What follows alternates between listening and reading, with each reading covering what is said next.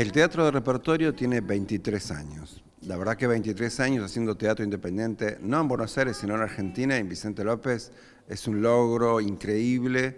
Somos pioneros, tenemos muy buen puntaje a nivel nacional e internacional. Ahora vamos a estrenar en el mes de septiembre Calígula, una obra de Albert Camus, una obra excelente, de mucho compromiso, y Rinoceronte de Eugenio Ionesco, que es una de las obras más reveladoras del teatro contemporáneo. Todas con mucho personal, obras que se pueden hacer solamente en el teatro oficial, pero nosotros nos arriesgamos porque apostamos al teatro independiente. Y por otro lado es una casa de cultura, tenemos muchos talleres de teatro, de circo, de danza. Entonces, para el vecino, el teatro repertorio es un lugar donde puede estudiar, pero también donde puede venir todos los fines de semana a ver hasta seis espectáculos. Arrancando bueno, los, con los, sábados, el sábado a las 20 con, con Pedir Demasiado de Griselda Gambaro, es una obra muy fuerte. El viernes a las 21 horas con Calígula. Eh, una obra también fuerte, tradicional, muy difícil para nosotros los actores.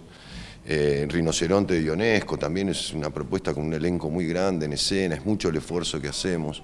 Deseo Brutal, que es una, es una pieza, un homenaje a Tennessee Williams, de un tranvía llamado Deseo también el taller de producción, el taller de producción también con la omisión de la familia Coleman, de Claudio Tolcachir, los domingos a las 20.30. Hoy estamos en Melo 1756, pero partimos del Museo Rómulo Raggio, donde hicimos una sala muy linda que Roberto la creó, y una sala que después bueno, nos quedó chica y nos tuvimos que trasladar a, este espacio.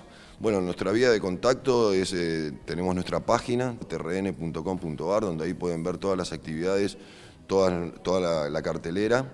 Eh, después tenemos nuestro Facebook, el Teatro de Repertorio. Eh, nuestro número de teléfono es 4797-8515. Eh, la Secretaría funciona de 18 a 21 horas. O sea, hay una variedad de, de cómo es la vida, ¿no? Hay teatro para todos, para los chicos, adolescentes, grandes, adultos.